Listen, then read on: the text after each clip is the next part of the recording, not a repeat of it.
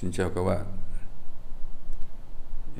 Video này tôi sẽ hướng dẫn các bạn cài đặt Android Studio để chúng ta lập trình với Android. Và để mà download thì các bạn search Google với cái từ này, Android Studio, hoặc các bạn gõ thẳng cái đây search Google này chúng ta search Android Studio và chúng ta ấn thẳng vào đây đúng không? Và các bạn sẽ download cái bản này. Nó đang là beta thôi bởi vì nó nó vẫn là bản beta và tôi chạy trong Windows thì tôi ấn vào đây và download.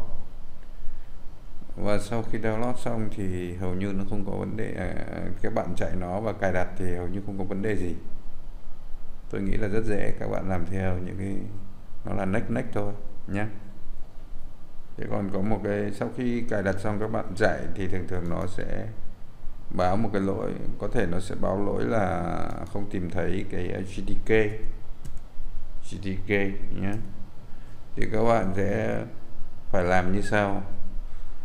Nếu mà chúng ta đã cài đặt GTK rồi thì chúng ta phải báo ở trong cái à, cái gì nhỉ? Cái cái ờ, control panel này các bạn ấn vào đây nhé các bạn sẽ à, các bạn gõ path và các bạn ấn vào cái edit này. Và các bạn thêm một cái biến Java Home vào như thế này nhé và các bạn sẽ tìm đến nó ở trong Closure này. Và các bạn sẽ thấy nó ở trong cái uh, thư mục thí dụ tôi cài Java thì tôi sẽ để ở trong. Thí dụ các bạn có thể thử xem Java của mình là cái gì thì bạn chạy Java version này. Của chúng ta là 1.8 của tôi là 1.8.0 đúng không ạ? Và nó sẽ nằm ở trong cái thư mục uh, đây. Yeah chúng ta gõ vào à, program file và chúng ta nhìn thấy Java đây này, đúng không? Và GTK đây này, nhá. GTK thì các bạn ấn vào cái chỗ này, đúng không? GTK và các bạn copy cái đường dẫn này sao copy, các bạn thả vào đây. Nó chính là GTK đây. Và sau khi các bạn à, làm như này, các bạn ấn OK ở đây, đúng không? Và chúng ta khởi động lại. Android Studio đây này các bạn thấy nó chạy rồi đúng không?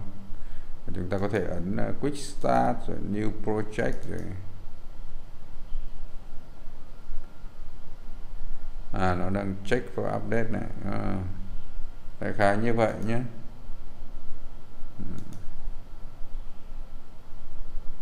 Tôi thấy cái này có vẻ như là nó rất dễ dễ hơn là cái cách mà chúng ta làm vậy đây chúng ta có thể TV này chúng ta có thể glass này wear này đúng không? Tức là cái cái bản mới nhất là Android 4 uh, ờ, minimum này đây đây là phone phone and tablet thì chúng ta ấn vào đây đúng không? Chúng ta ấn vào đây và gõ next thôi đúng không? Chúng ta sẽ chọn một cái uh, full screen full screen đại khái như vậy và chúng ta sẽ tiếp tục với những cái uh, bài sau. Ok.